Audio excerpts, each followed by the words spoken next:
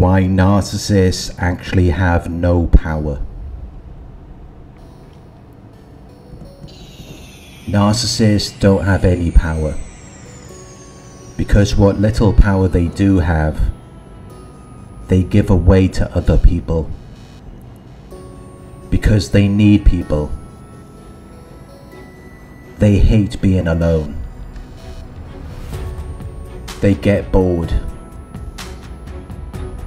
They feel like they're missing out on something. There's nothing worse for a narcissist than their own company. That's why they hate rejection. They always need a distraction. They need relief from their unpleasant reality by seeking entertainment and engaging in fantasy, or by having a relationship. They don't get into relationships to build something with the other person. They see their partner as someone who is meant to serve them, someone who is meant to meet their needs, someone who is meant to support them. They're heavily dependent on their relationship partner. They need them to validate the illusions of their false self. And if they refuse to do that, they will be used as their doormat and as their emotional punching bag, which is still supporting their false self. It's still telling them that they're superior to you. They use people to support their false beliefs about themselves, which reveals that it's a false image. Because it's not self-validated. It doesn't come from within. They're pretending to be something they're not. And they're receiving false compliments and praise. Because they're not really about any of that. They're just playing a role to get attention and validation. But many of them get so caught up in their false character that they start to believe their own lie. They start to believe that the character is who they actually are. It's actually a form of psychosis. Because they're not grounded in reality. They don't know who they are. All they know is their false character. And that is why their image is so important to them. Because that's all they have.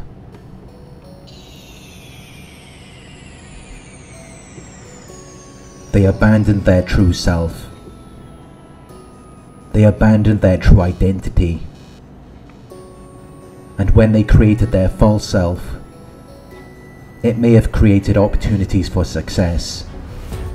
It may have fed their ego, which is what it was intended to do. But the character can also change depending on their success or lack of success, depending on who they're around. They will tell you whatever they think you want to hear. They will show you whatever they think you want to see. Because they're very insecure, they need acceptance. They need compliments and praise. The narcissist never loved you. They were never emotionally attached to you. They have an inability to do that. Which is how it was so easy for them to discard you. They extracted love from you because it made them feel powerful. When you loved them, you were given your power to them. And when they started to devalue you, and you began to hate them, it still made them feel powerful. Because it made them feel relevant. It made them feel like there was something significant to you. Because they were able to affect you. If they can get a reaction out of you, it's because you're giving your power to them. You're giving them supply. But you can also choose to not give them your power. You can choose to not give them supply. By ignoring them. By walking away. And when you do that, it destroys them. Because their main objective is not to make you love them. And it's not even to make you hate them. Their main objective is just to make you care. to affect you in some way. Which is why the worst thing you can do to a narcissist is to show them that you don't care. To act like they don't even exist. Because they depend on you to feed their ego. They depend on you to make them happy. But they don't want you to know that. They don't want you to know just how much they need you. That is why the first thing they have to do when you begin to realize that they're not bringing anything to the table is tear down your self-esteem.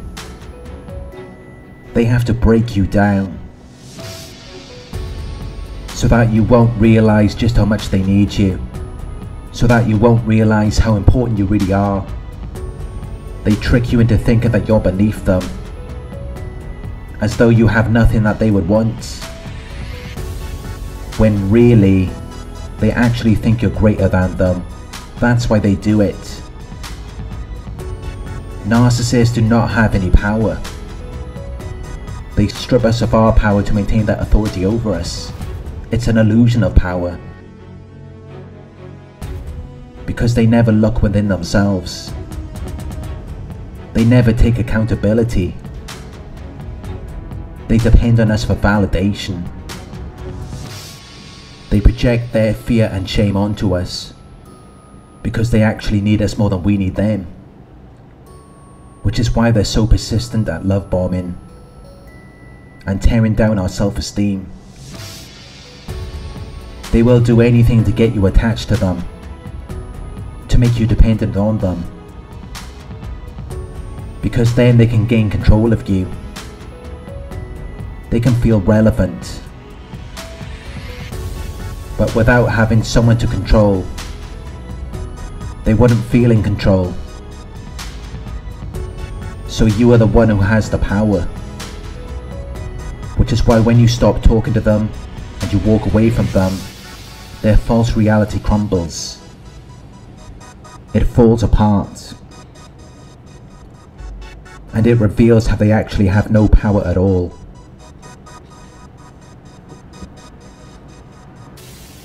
They just tricked you into giving your power to them.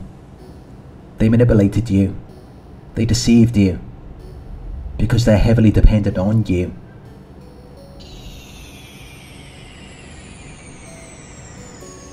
They need your attention and validation to prop up their false self.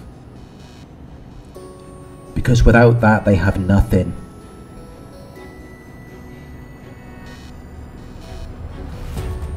There's no happiness inside of them. Which is why they need constant entertainment. To distract them from their unpleasant reality.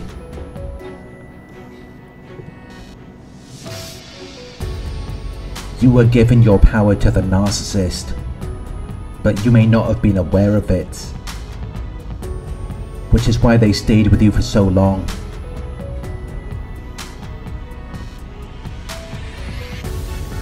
When you do finally realize your power over them, that is when they will ghost you. That is when they will disappear. And you may never hear from them again. Because at that point, they're just going to see you as a lost cause. They're not going to have any use for you.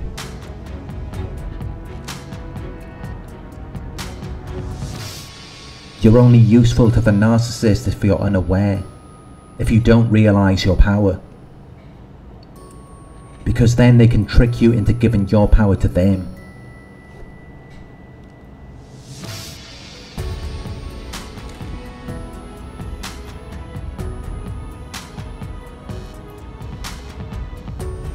Thank you for watching.